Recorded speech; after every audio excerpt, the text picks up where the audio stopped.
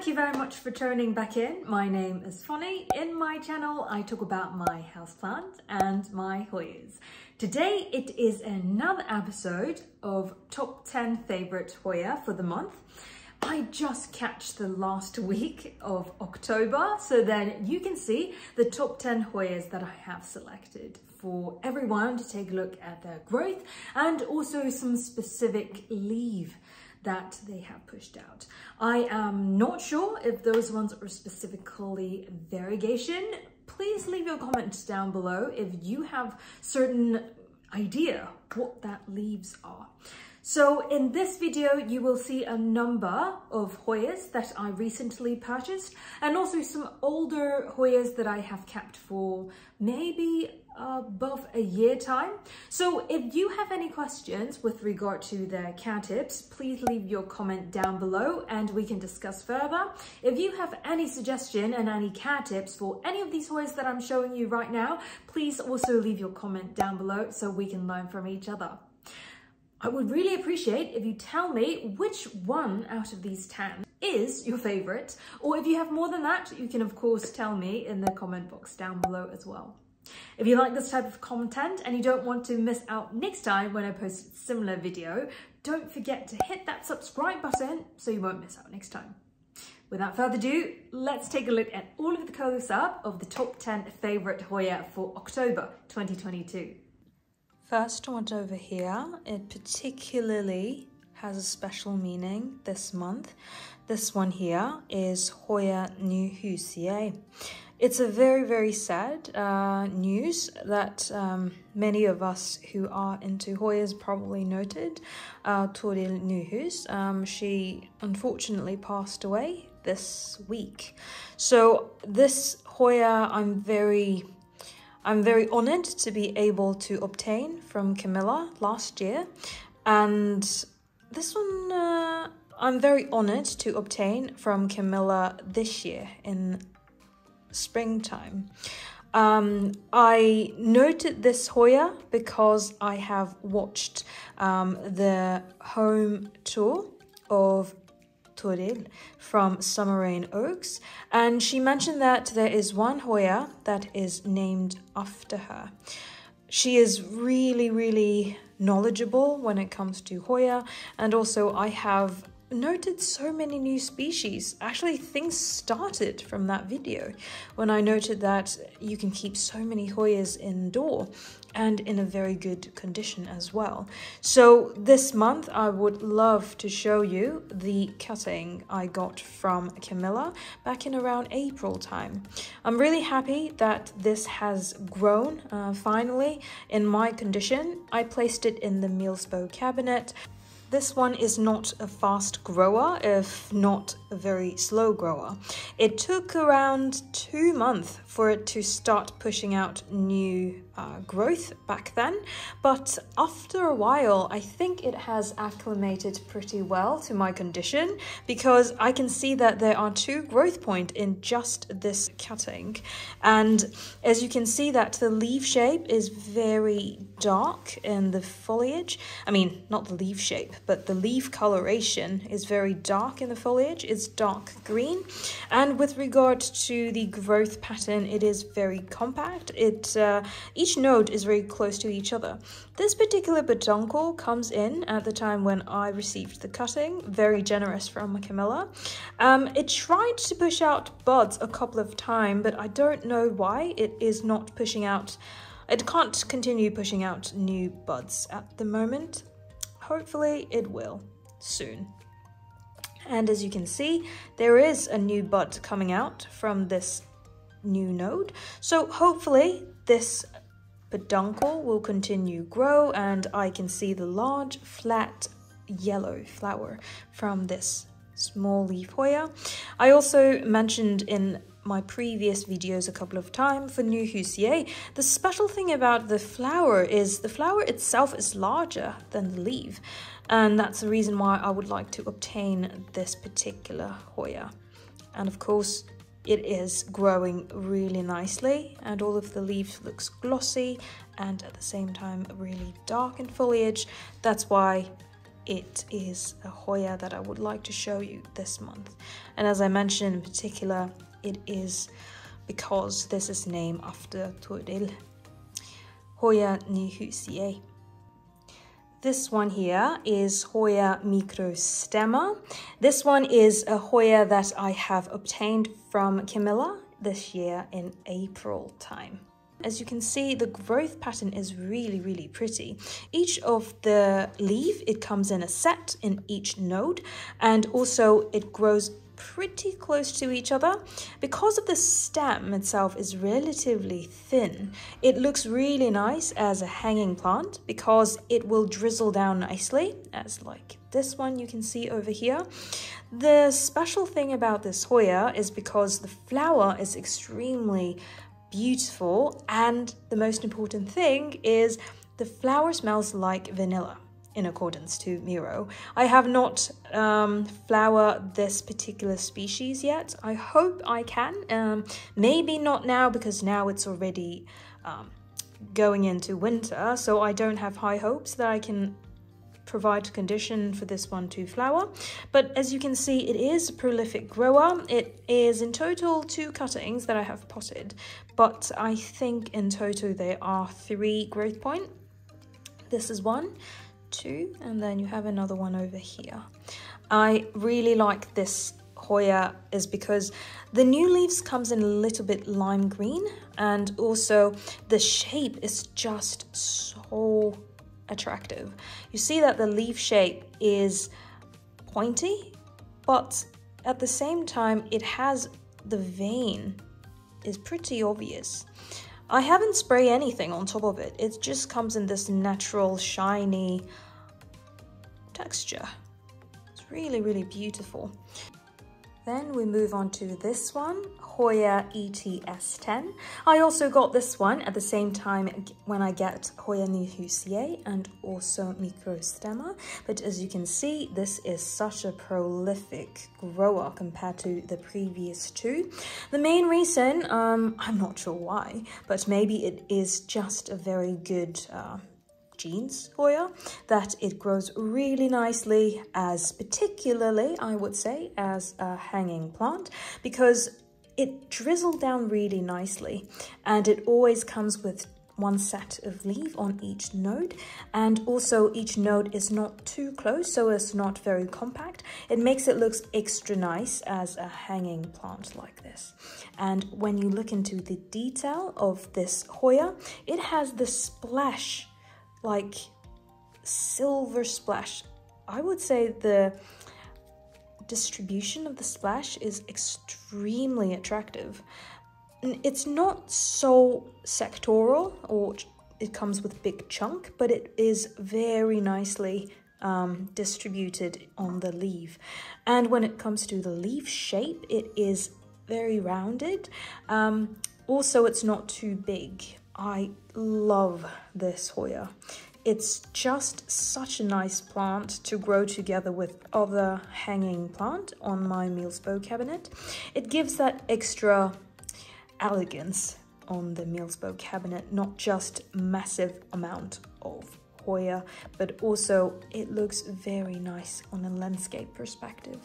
And you can also see that this is a new leaf that pushed out, Probably it wants to branch out on this particular node. I'm not gonna twist it too much, otherwise I'll break it. But um, it's a really easygoing one. As I said, this is from maybe a three note cutting. Over the past half a year, it has grown this much. Let me know in the comment box down below how fast your Hoyas grow and what means by fast growing to you. Is this low uh, as a six month growth or is this super fast as a six month growth? Let me know. Um, I think the definition of fast growing varies a lot amongst collectors. Then we move on to another tiny leaf Hoya. This one is the oldest Hoya I have amongst all of the Hoya I'm showing you today. This one here is Hoya picta. If you have followed me early on last year, you will noted this one is an import that I got from ASEAN Plant Export. At the time when I received it, it does not look good at all. I remember it was a huge plant. Well, maybe not huge like this much, but maybe it's a plant with two long strands like this, and there's no root um, on the bottom. So basically I need to reroot it again. And at that time it was relatively new to me um, to propagate and acclimate Hoya, but I am very, very proud to show you this very nice grow over one year. It is a really beautiful hanging plant. I will show you some footage how it looks like in my Milsbo cabinet together with the ETS10 as I just showed you. The beautiful thing about Hoya picta is it is very, very tiny. If I show you this close up over here, you see that it looks just like the size of my nail, but at the same time, it is very, very glossy. It looks like green grapes, and also it is very succulent. If you see it on the side, it is very thick. And the growth pattern is perfect if you want to make it as a hanging plant because it has relatively uh, long internode, as you can see here. The node internode is, um, I would say, around um, one and a half centimeters, and each of the node will have one set of leaves. And with this characteristic, it looks super nice as a hanging plant like this. And if you want to grow it compact, I think you just need to kind of um, circle the one tendril and then kind of rotate it and have it in a circular growth pattern. So then each of the node, as you can see, there are quite some air roots in each of the node. So in my experience, Hoya picta is not the easiest to pick up um, because it took me a very long time for this one to finally start pushing out new growth. I think I struggled in the first four months even, um, but after it has kind of stabilized and it has grown a lot of roots, as you can see now, it is definitely a mature plant with very nice water roots in the water reservoir. All I need to do now is just to make sure this water reservoir is filled with water. And except from that, it is super low maintenance. It doesn't need too much light. If you give it too much light, it will have some weird looking leaf. For example, um, it doesn't have it, maybe this one here. You see that there are some kind of concave shape on the leaf, like here. I remember I asked Miro about this, if he knows is this a disease or not, uh, but he said that not sure about that, but actually it looks kind of cool with this kind of ribble uh, on the tiny leaf. And after I stop giving too high light, I put it in a lower uh, lighting area in my Milsbo cabinet. The new leaf comes in normal, you see? This is very smooth compared to the one here with a lot of ripple. Maybe some of you like this type. I just want to make sure that the plant is doing all right. But uh, it has not stopped growing. Um, all the ones drizzle down, it's more kind of smooth on the surface, as you can see. And uh, yeah, very, very attractive tiny leaf Hoya. I love this one super much. Now let's move on to this one. This one here is Hoya myrmecopa. You can see that the leaf is slightly larger than the other ones I just showed you, but it is still a relatively small leaf Hoya and I love the flower of this one. I have showed you multiple times why I like myrmecopa so much. It is because of the light purple slash um, purplish pink color. But this time this is the Hoya that I mentioned, I'm not sure. Look at this leaf. I don't know if this is actually a variation. I doubt it is, but it is so perfect in the middle sectoral coloration difference. It could be because of some pests. I, I really don't know. Please let me know in the comment box down below if you have experienced Hoya's turning its color like this. Of course, I will know more after it pushed out more leaves, um, but this is a cutting that took very long time to push out new growth. I think this is a new, the first new leaf pushed out, and this is the latest new leaf that pushed out. I got this one in all maybe April this year as well, and this one is six month growth of this cutting, but this whole thing has grown in six months. So I doubt there are some kind of um, in infection, maybe, of this leaf. That's why it looks like it's variegated. But um, it's quite interesting because the leaf itself is kind of healthy. And um, I really like the, the shape of this Hoya. And I will also show you, as I mentioned previously, how it looks like in my Milsbo cabinet with other hanging Hoyas. It just looks so um, tidy, but at the same time looks very beautiful. I could just stare at it for a couple of hours in front of my Milsbo cabinet. And also the new growth point over here. It also have that kind of coloration deviation. Let me know in the comment box down below, is this because of too high light? It has that hmm, weird coloration. But it's still made up to the top 10 favorite. Not just because of this weird shape and coloration, but also the growth pattern is very, very pretty. Look at this. This one over here is Hoya Cembra. This one here is perfect timing to show you because it has this kind of autumn leaf color for the new growth I think this is because of the high light condition that these leaves are closer to. Um, I'm using Spider Farm Light, not sponsored, but I always mention about them. And you can see that the leaf is very sun stressed. But the way that this one's sun stressed is not like deep red color. Could be because the coloration of the leaf originally is pretty dark. That's why the new leaf comes out is not extremely red in color. However, it has that kind of pinkish yellow color, which makes it very nice for the season. Very autumn-like. And I really, really, really like Hoya Odorata. It is because it has very small and pointy leaf. It looks very similar to Nyhusiae, if you recall, just a few plants I showed you earlier on. It has this kind of oval, but then you have a pointy leaf in the very end. Also, the midrib is very obvious.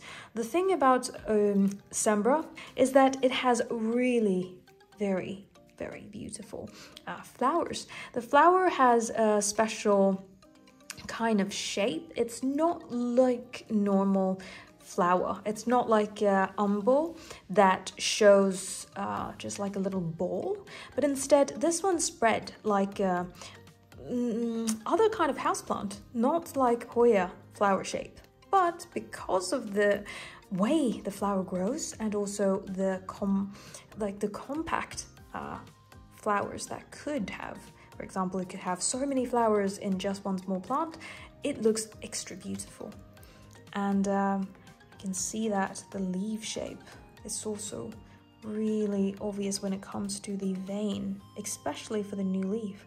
And also, it is very glossy. You can see the, even the old leaf it's pretty glossy. The new leaf is extremely glossy. Look at this. I love this one so much because it's also small, tiny leaf. Another small leaf Hoya here. This one is Hoya lacunosa from Langkawi Island. You can see the leaf shape is very much like lacunosa and I know that this is not the smallest variety um, of lacunosa but this is the smallest variety I have. It looks extremely cute you can see. Each leaf is smaller than my nail and the splash on the leaf is just very beautiful and not just the leaf coloration but if you look into the shape it has that kind of um, mid rib and also it also have the kind of the vein.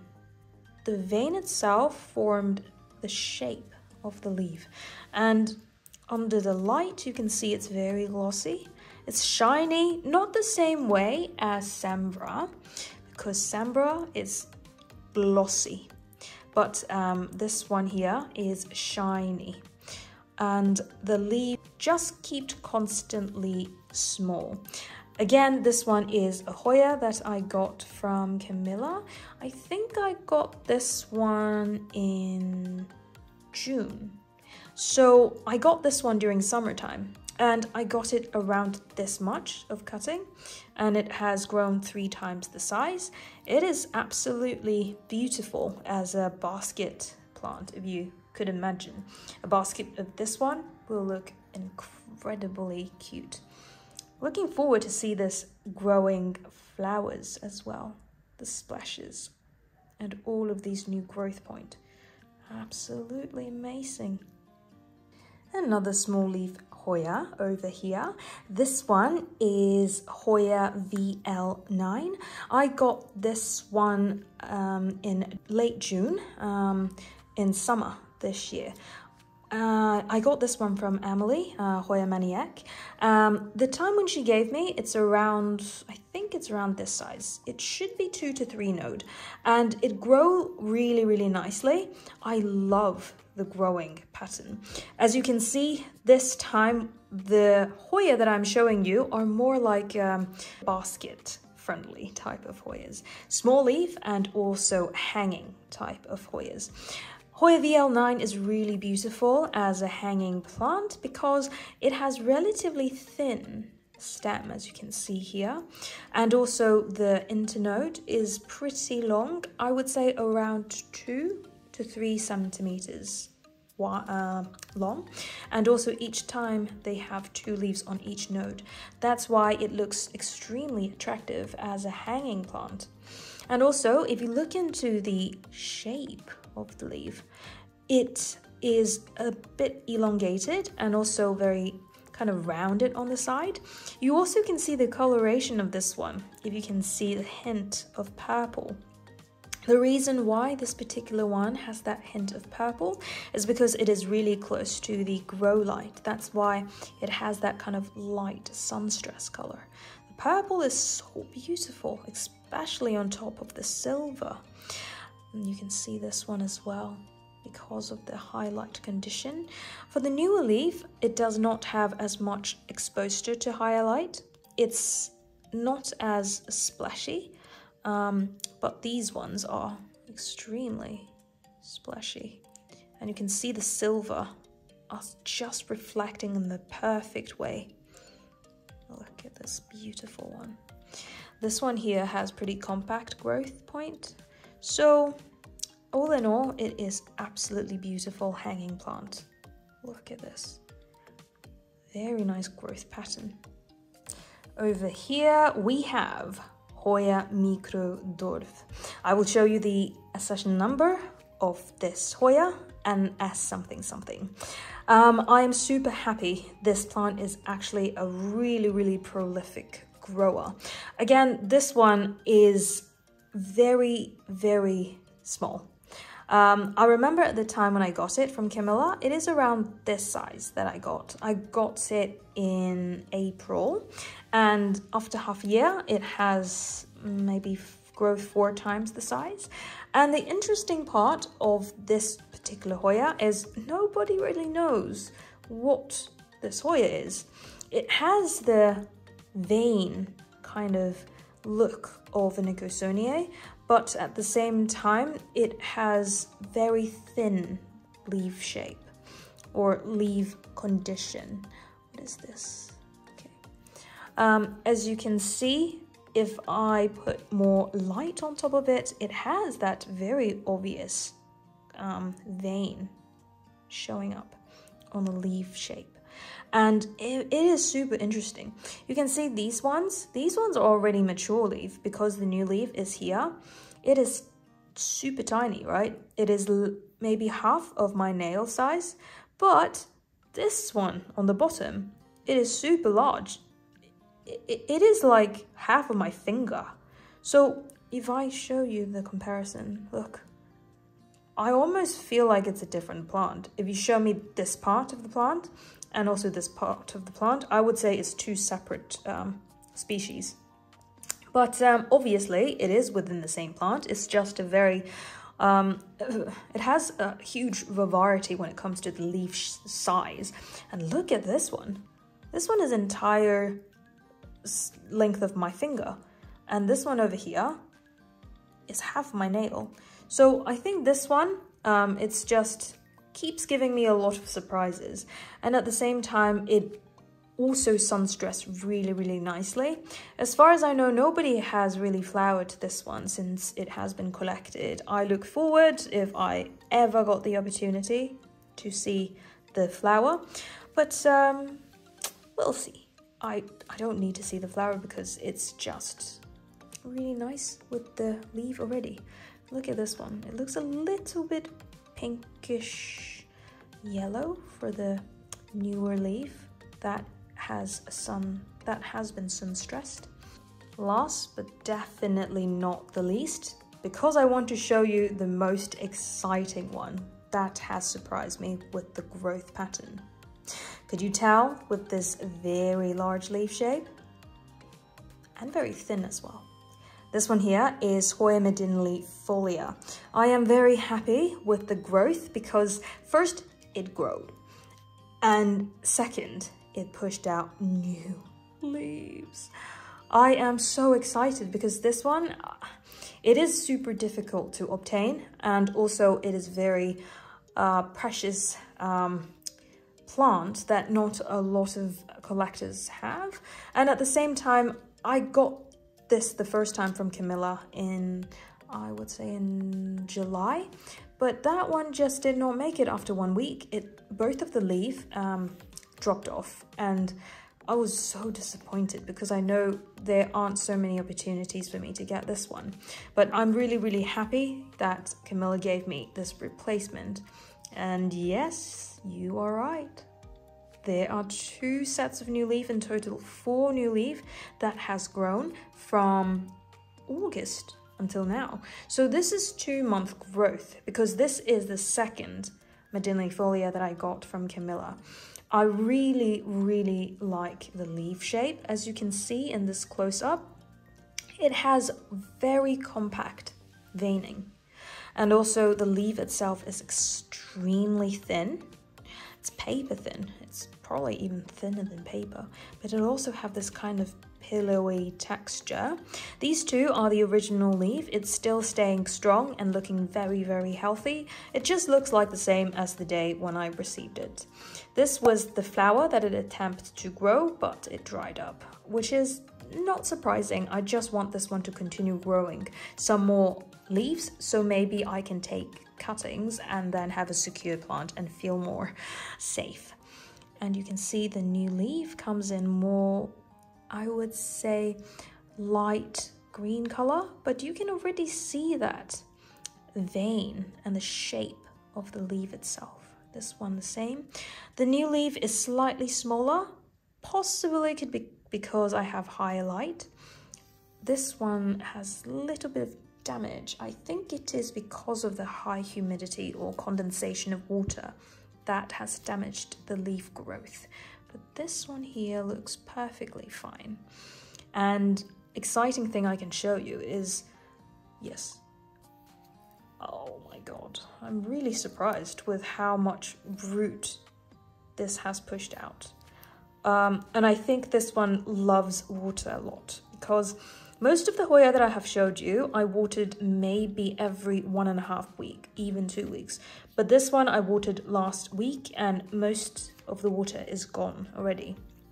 So likely it is because of the thin leaf shape and also because it is a large leaf. It takes so much more water from the water reservoir.